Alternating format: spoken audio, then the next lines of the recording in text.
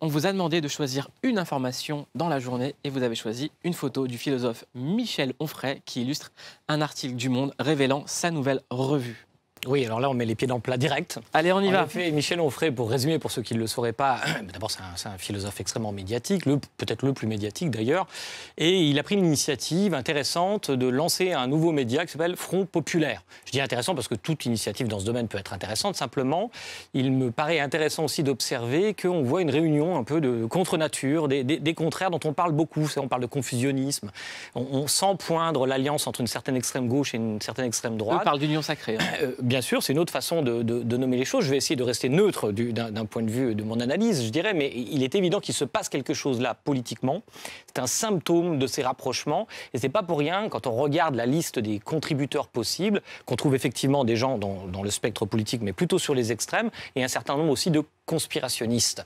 Alors, c'est pas que c'est mon obsession, mais il se trouve que le conspirationnisme, c'est un peu justement cette glue cognitive qui permet de rassembler l'extrême droite et l'extrême gauche, selon tous les sondages qu'on a euh, disponibles.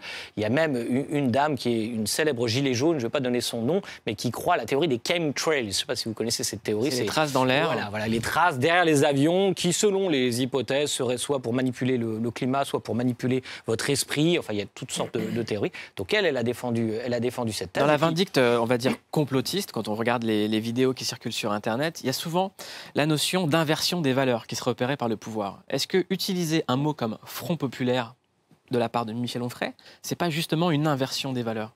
En tout cas, il y a une revendication euh, du mot peuple. Et le mot peuple est revendiqué dans ce cadre narratif pour bien indiquer qu'il y a une trahison du peuple, et notamment par les élites intellectuelles, médiatiques, dont nous faisons partie autour de la table très clairement. D'ailleurs, le discours que je suis en train de prononcer ne servira strictement à rien, parce que bien entendu, il serait interprété comme un discours d'ennemi idéologique. Et donc, oui, bien entendu, qu'il y a une inversion des valeurs. Ce qui est faux est vrai, ce qui est vrai est faux. Euh, entendu, il faut prendre ça quand même au sérieux, parce que je suis allé regarder un petit peu. D'abord, Michel Onfray, c'est quelqu'un qui pèse dans le paysage médiatique, véritablement, en termes d'attention. C'est un, un nom qui attire notre attention. La preuve, on en parle autour de cette table. Mais il y a quand même déjà un demi-million d'euros de levée de fonds, hein, de, de, donateurs, etc. Il y a même, si vous êtes intéressé, euh, une, une, un abonnement à vie n'est-ce pas? Alors pour 1500 euros, vous aurez un abonnement à vie et vous serez même invité à dîner euh, avec Michel Onfray dans la nouvelle pergola qu'il pourra se refaire grâce à sa revue. Je l'espère pour lui. euh, Clément. Oui, bah, moi ce qui m'a intéressé, c'est un peu différent. C'est euh, Olivier Véran, hier, à la sortie du Conseil des ministres, qui a donné les premières orientations en ce qui concerne le futur plan pour l'hôpital. C'est très important, c'était très attendu. Et il y a dedans des choses encourageantes. Le temps est donc venu de regarder en face ce que nous traversons et d'en tirer au plus vite toutes les leçons. Ces leçons, elles sont nombreuses. Et ceux qui les connaissent le mieux, ce sont les soignants.